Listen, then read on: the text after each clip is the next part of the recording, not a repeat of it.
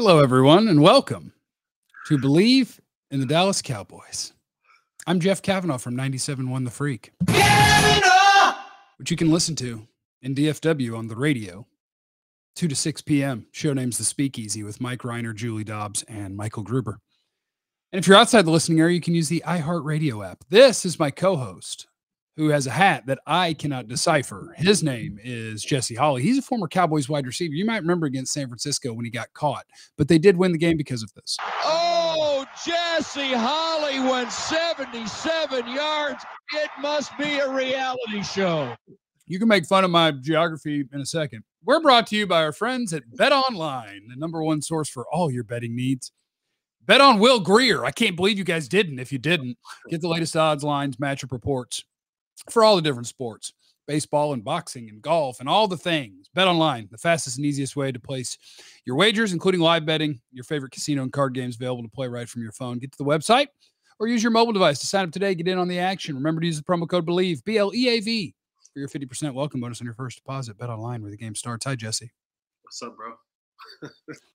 I mean, we got stuff to talk about. We got Trey Lance, we got Will Grier.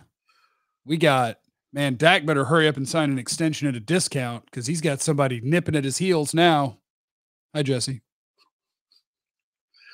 Why, I mean, why sign an extension? Just just quit and go do be OC. Just go do that. Is Dak the best offensive coordinator in football? It's a, It's a fair question. It's a fair question. It's a fair question. Small sample size, but Trey Lance reactions from Jesse Holley. Fourth round pick traded for Trey Lance. Go. you know, I've been all over the place with this. And initially, I didn't like it. Like what like there's like three levels of like grieving, right? It's just like Do them all because I have seven. yeah. I got seven things about this. Yeah, I mean, because at first I'm like a fourth, and I knew, I knew when I heard a fourth, the Cowboys reached. Like I just knew it. And when I heard, it, I was like a fourth. I was like, man, they just they they they reach. I'm like, I'm sure no one else is going out there giving up a fourth for a situation where people knew, you know, once the reports came out that he wasn't even going to be a backup. I was like, they reach. And come to find out, they did reach. Um, then I didn't understand it. Um, and, and then I was like, well, okay, then I do understand it. It's just been a mix of emotions. Uh, I've just, I just, I, to be honest with you, I don't like it. I, I don't like it. I don't like it. I, I mean, this is a you. You're into the draft, Jeff. I'm into the draft. You do great things with drafts and the draft shows and your draft coverage, and you of of all people understand draft capital and you understand the draft grades of what it takes to get a person the numbers and all that kind of stuff do you know how bad you have to be for a team within two years of giving up not one not two but three first round picks to move up to take you at the number three overall pick to get rid of you? Like usually they let you kind of play out your rookie deal, don't don't sign the fifth year option, and then see where it's at. But they just like, you know what? Mr. Irrelevant beat you out, Sam Darnold beat you out, and Jimmy Garoppolo beat you out. So at this point in time, just go. Just go and we'll take whatever we can get for you. Uh, that- that's the part that I'm still hung up on in this whole Trey Lance thing is is how bad is Trey Lance to have that much capital put to get him, and then he's given away within two years for a fourth round pick. I have a theory for why it was a fourth round pick. I have a theory.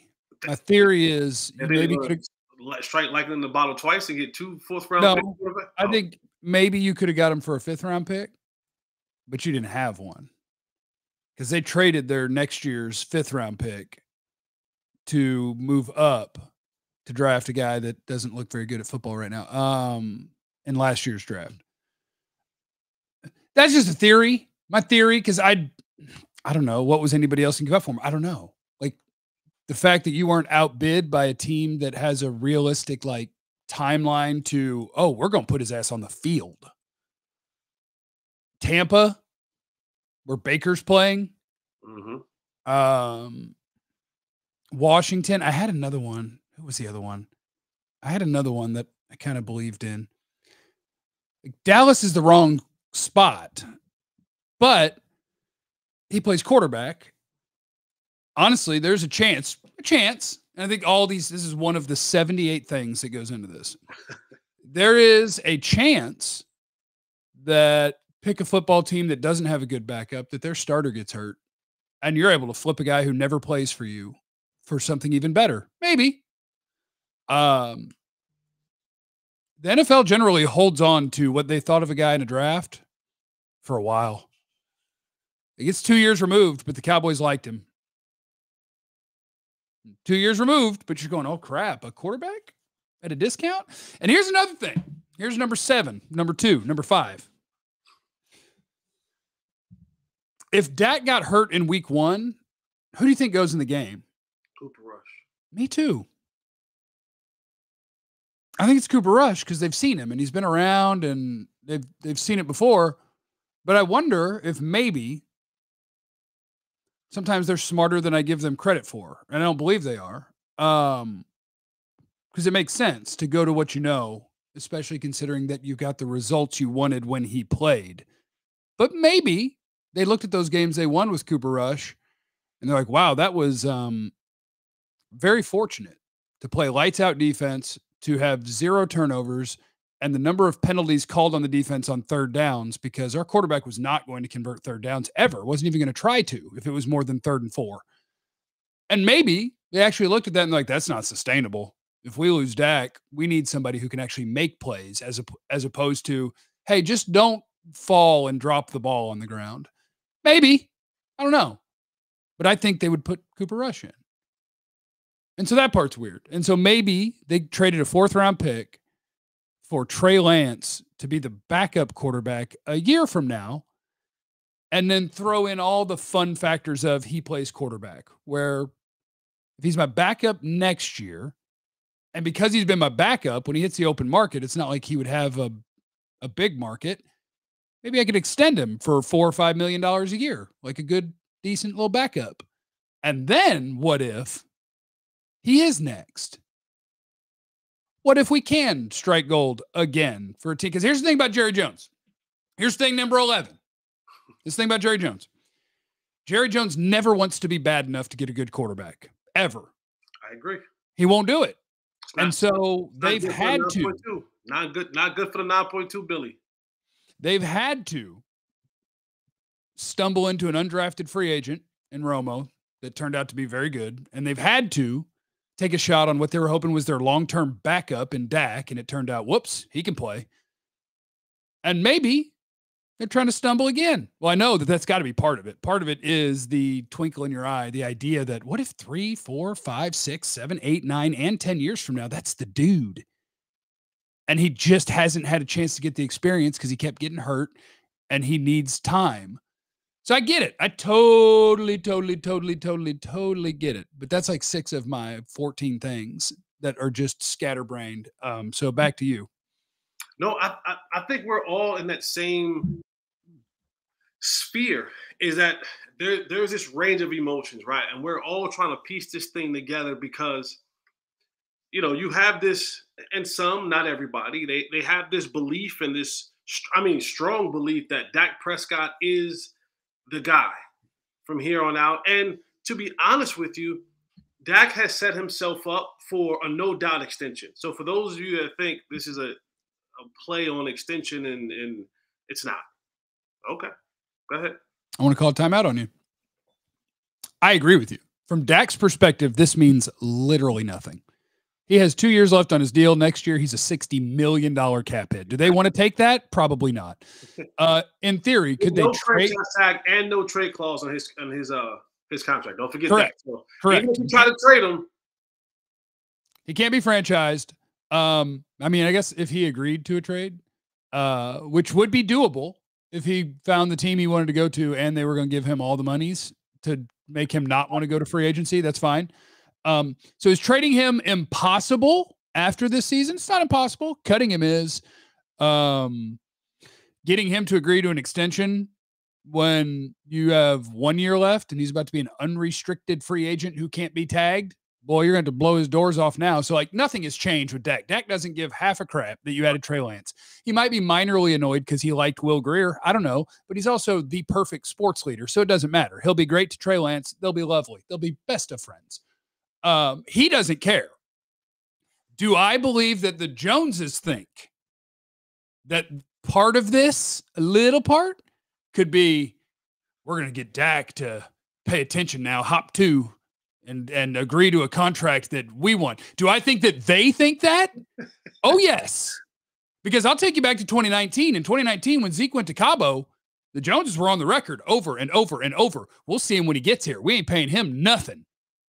Matter of fact, we're open for business. Who wants to come do business that it's time for an extension? And they signed Jaylon Smith to a contract extension Wait, to speak to Zeke, to speak to Zeke, who ignored it and waited for them to pay him. And they did. So, like, do I think that they think that way? Yes. Does Dak care and should Dak care? No. He's a top 10 quarterback with two years left on a deal that can't be franchise tagged. He's sitting beautiful. He does not care about somebody's backup's backup that just arrived to back up Cooper Rush and maybe be second string. No, he doesn't care. But do I think that having that avenue of possibility plays into the Joneses' mind? Yes, some. Yeah, that's just that's just a weird way of thinking, especially from a front office that's historically lost in their abilities and their attempts to hard nosed at, the, at contracts. Like they don't know they've lost. Like, they don't even they don't even know. like, like Dak Dak's leg was hanging out of his skin, and they had to give him everything he wanted because it's quarterback. They you cannot you're not scaring Dak into being like, I'll take another $40 million contract. No, the price is 50 now. The end. Like he ain't taking a discount for you because you traded for somebody who was going to back up Sam Darnold or Brandon Allen and be inactive. I don't know. No, they might think it. Yeah, I just if anything, if anything, this pushes his price tag up even more. Because now I'm thinking if I'm Dak, I'm saying, oh, so maybe this is your long-term plan. So let me get every red nickel up out of you when I head back to this con. Like before, I thought about maybe because I, you know, some other, but now, you know, you, you know, you didn't call me, you didn't, you didn't give me heads up, and, and that's another thing, right? Like do you know do you call that do you not call that? And i get that deals have to be done in a timely fashion and and and, and that matters in the grand scheme of things. But 24 hours goes by and you don't give Dak a phone call, th- that to me would piss me off a little bit. Maybe, maybe you don't give me a phone call right in the immediate right dealing of things things are happening, phone calls are being made back and forth. You're on the, you're on the line, and I know that sometimes even in de- doing those deals, it's like, yo, you got 30 minutes. Yo, you got 15 minutes. Hey, I got four teams on the line. Hey, so and so is calling. Boom, boom, boom. You know, you're, you're making these phone calls, but 24 hours goes by, 26 hours, 30 hours goes by, and you still don't have enough decency to be like, hey, Dak, before it hits the news, want to let you know here's what happened. We were in the mix of doing things, and – we traded for Trey Lance. Nothing, you know, nothing against you. We are just trying to do some things that, you know, hopefully give ourselves the, the, the best way to be a most talented team that we possibly can. That part I would be a little bit annoyed if I was Dak Prescott. And that also will come into account when I come back to the table again after this year because you're not going to let me go into the final year paying me $60 million a year. You're going to find that's just too much of a cap hit. You're going to find a way to get this thing down. So you're going to give me the hit that I actually want. But I'm also going to tax you now because I see mm-hmm. the way that you play. And let this be a and let this be a lesson. Let this be a lesson. Let this be a lesson to all the people who watch football, to all the players that will one day play football. If you're a young fan that watches Bleav in the Cowboys but Jeff Cavanaugh, Jesse Holley, you're in college, whatever. This is not family. Football is business. The, your last name is not Jones. I was talking to Shaw. I was talking to Shaw at practice. Shaw Jones, the grandson of Jerry Jones at practice the other day. You're not him. You're not. You're not. You're not an heir to the throne. you. What are, about the fun baby? What about her? Who? The fun baby. Oh, don't worry about that. She gets a cut. Mm-hmm. She gets a cut, but you're not an heir to the throne. Okay. Your last name is not like the Joneses. You're you are means to an end. And when your means no longer helps them get to the to the 9.2, you be, you become an end. So I, I, think that'll piss Dak off a little bit as well, and he won't forget that when it comes to when it when it comes time back to uh, to get to negotiating table. Okay, I do want to throw one thing out to you on Trey Lance, just because I think it's a fun nugget. Okay, um, 49ers tried twice. He broke his finger or whatever the first year around, where they wanted to be able to mix him in a little bit with Jimmy throughout the year, and it didn't work out. Then they gave him the job, and then he broke himself, and it cost him that one too. And then they found new guys that could play quarterback, right? Um, so they tried to to get him in the mix both of his first two years, and now it was like, whoops, we found a guy that we like, and we found another guy that we like, and you're just going to be watching how experienced Trey Lance is as a top three former pick is absolutely insane. In Trey Lance's college career, he threw 318 passes at North Dakota State. He had eight career starts, right? Uh, no, he had 12. I think he had 12 in 2019. Okay. I could be off on that, but I think he had 12 in 2019. Um, but in 2020, he played one game because they had the COVID year. Mm. And then they played one, and then they were going to push back the season. And he was like, "Right, I'm not playing in the spring or whatever. I'm going to get ready for the NFL draft. Thank you." Um, in the NFL, in his two years, he has thrown 102 passes. Um, so his grand total of pass attempts in his entire college and NFL career is 389. Dak missed five games last year and threw 394 passes. He has thrown less than a starting NFL quarterback, way less than a starting NFL quarterback throws in a year in his college and NFL careers combined, spanning five years. Trey Lance is a baby when it comes to what are you going to do in the NFL, and he might never get the shot. But that's the fun part. The fun part is people watched him and they thought, holy crap, he's going to be amazing. And he's barely played the position. Like he played one year at North Dakota State and was really, really good. And then he's never really gotten a chance to develop in any way, shape, or form. Anthony Richardson coming out of Florida, kind of same thing. Hadn't played a lot, hadn't thrown a lot, but the Colts are going to start him. And they're going to be like, let's see what you got. That's what Trey Lance was supposed to get and never did. So we have no idea. But the fun part is the what if. Like, what if everybody was right a couple years ago? And he's just never gotten a chance to get snaps or develop. But then that takes me back to with the Cowboys. We're about to start season. You're not getting snaps. You're gonna watch Dak practice. But but okay. So and I hear what you're saying, right? There, there's the development part, right? And and but if if the traits are there, if the skill set are there, if the mental capacity is there, you don't give up on them on the Niners. I mean, like quarterbacks are hard to find in this league. Good quarterbacks are hard to find in this league, um, especially those who have talent, physically, you know, the arm talent, the leg talent, and just uh, the finger in the fourth preseason game, and then the ankle.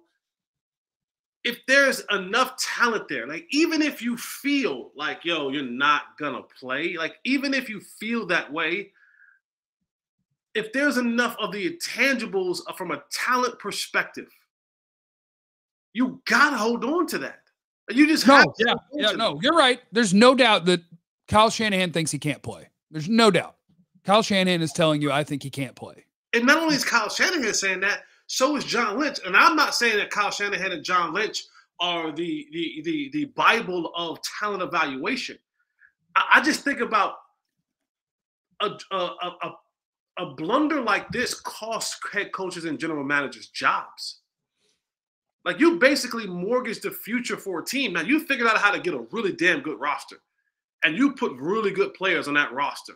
It'll and probably catch up. It'll probably catch up in the next year or two because that's three years of first round picks that you didn't have over time. It that usually catches up. It just doesn't catch up immediately. It catches up when those first rounders are supposed to be your best players. That, that's just, two, three, four years from now. That that's my uh, that's my biggest hiccup with this whole thing is I, I, you just, I mean, Jamarcus Russell got time. you know what I'm saying? Like, well, Trey had bad luck. Some of that's bad luck. Once you got hurt, Brock Purdy just went, hello, I can play. And the 49ers went, holy crap. Yeah, but I don't think, I, if, if we just did talent for talent, right? I'm not talking about the system. I'm nah, it depends talent. what talent means. Careful here. It depends what talent means. I mean, arm talent, athleticism, I don't think Brock Purdy has a uh, has a better arm than Trey Lance. No, but do you not count literally reading a defense and accuracy as talent? Okay, okay, but that okay that that goes more to what I'm saying.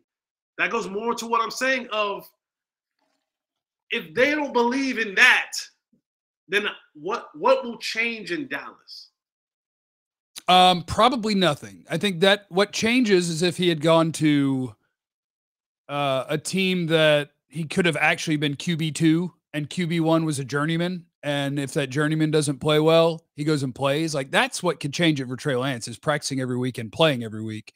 And I don't know when he's going to get to do that. And on top of this, the one that we also have to kind of still play a little bit of, you know, devil advocate in. Mike McCarthy's kind of on a one year deal himself. Yeah. So if this is a guy who likes you or who wants you, in this point, like Jerry said, he didn't consult Mike McCarthy. He didn't consult anybody. He just went on and did his own thing. So, I mean, that's another, that's a whole nother conversation that you bring in a guy in an offense and you don't even consult your head coach in it.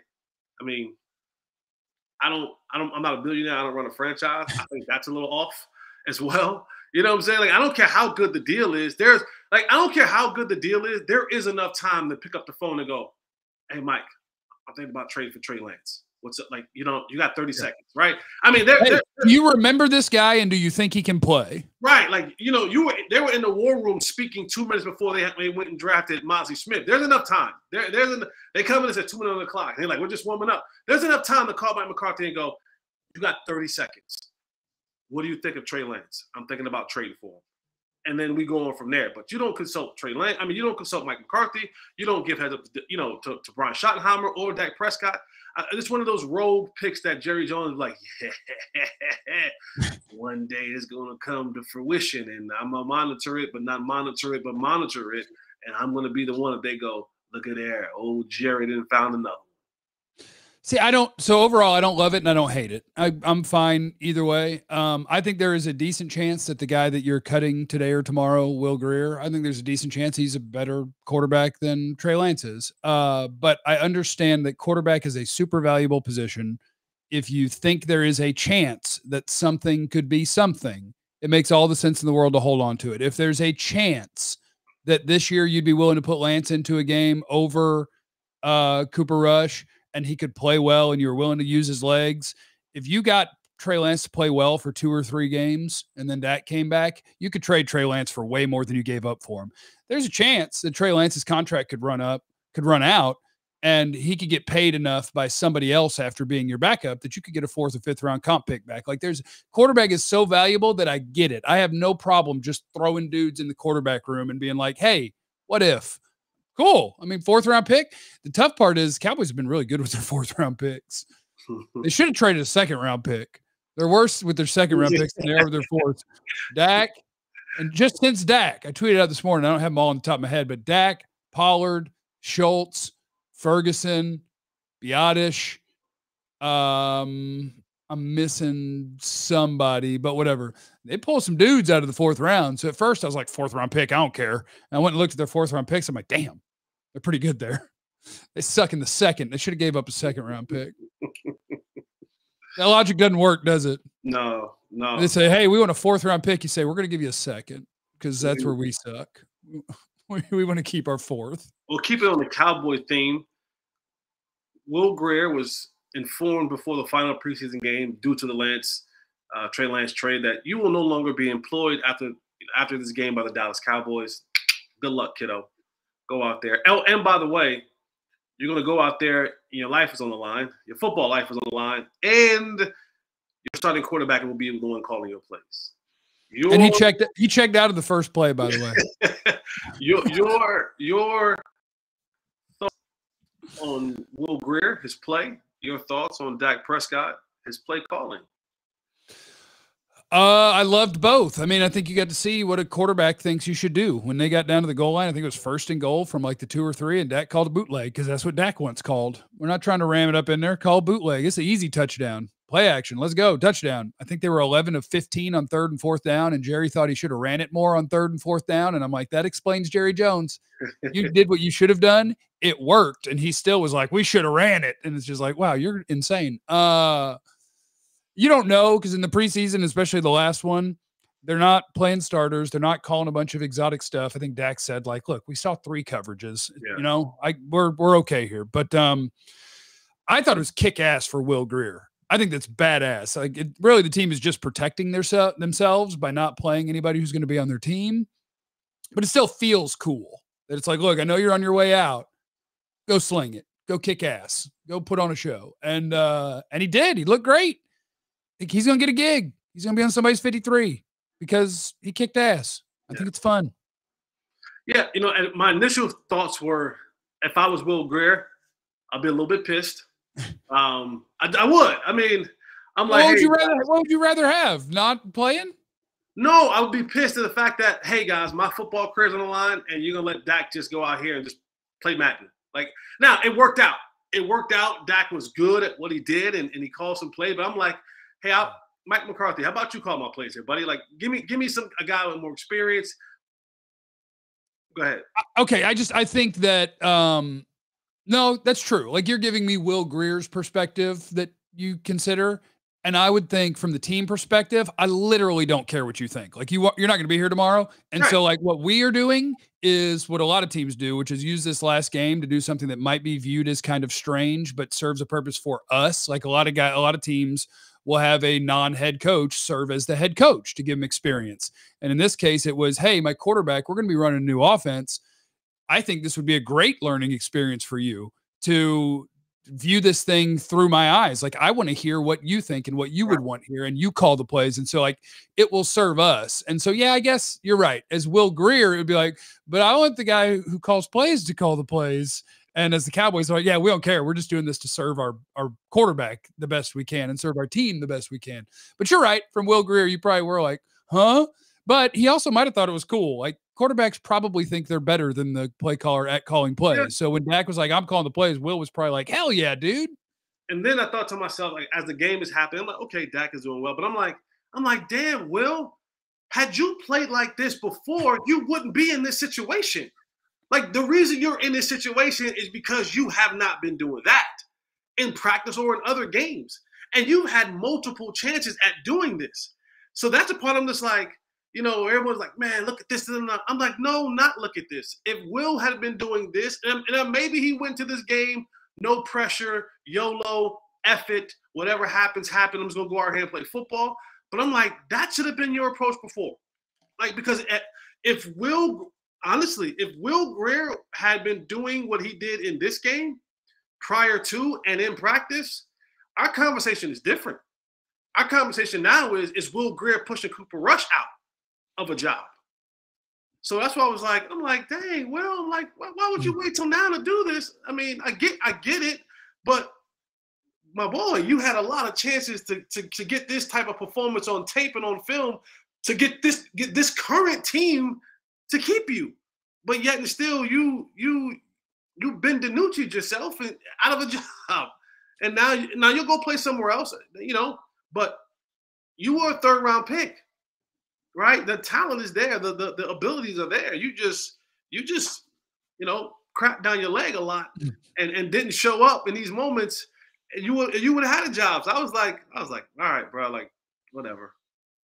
That's that poor guy. There was nothing he could do to make the Cowboys in that game. Like you could have been literally perfect because he damn near was. And it was like, all right, thanks. See you later. And like on my way out, I would be thinking, are you guys sure you don't want to think about this? The deals are. I mean, at that point, you now- sure I'm not better than Cooper?